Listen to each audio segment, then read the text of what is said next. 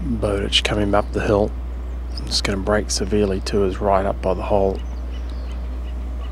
Ooh, about severely down. Very tidy.